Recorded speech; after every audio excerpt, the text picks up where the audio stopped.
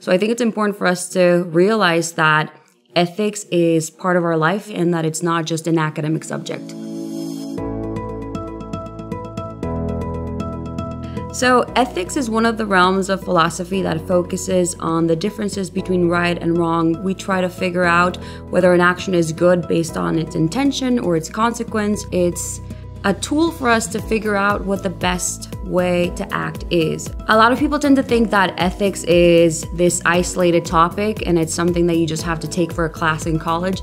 We don't realize that ethics is embedded into our everyday life. I believe that ethics is a very powerful tool for us to be better people in general. The more we know about the consequences of our actions, the more responsible we become with how we act. I love teaching ethics because I get to give people these tools for them to realize that things are not so black and white as we're told. Religion is not sufficient for us to be good.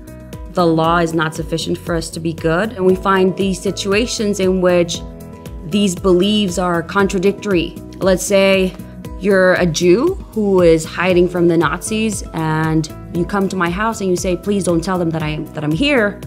And then they're knocking on your door and they say, Where is he? Oh, well, religion tells me I shouldn't lie. But if I say the truth, I've just indirectly killed you. So we see that ethics is quite complex and that philosophy gives us these tools to see beyond. The same thing with legality. We confuse the law with what is right and they're completely different. Uh, there are many things that used to be legal that are extremely immoral. Slavery, for instance, I just provide these tools to students for them to see that it's not so simple. We're told that respect is good, kindness is good, but we're going to go a step further and ask, well, why are they good? Ethics is going to help them understand where good comes from.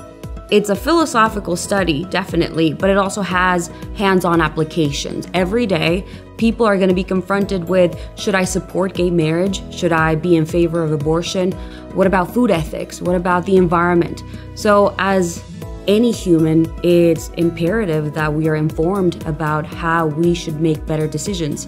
Ethics should be taught to everyone. The most powerful piece of advice would be to recognize the importance of studying philosophy and studying ethics. Realize that it's an investment in you as a person, it's an investment in your life because it's one of the only few realms or topics or disciplines out there that actually aims for you being a better person and having a better life. Very few disciplines can actually claim that. I mean, mathematics could change the world, yes, but ethics has the power to do it hands on every single day.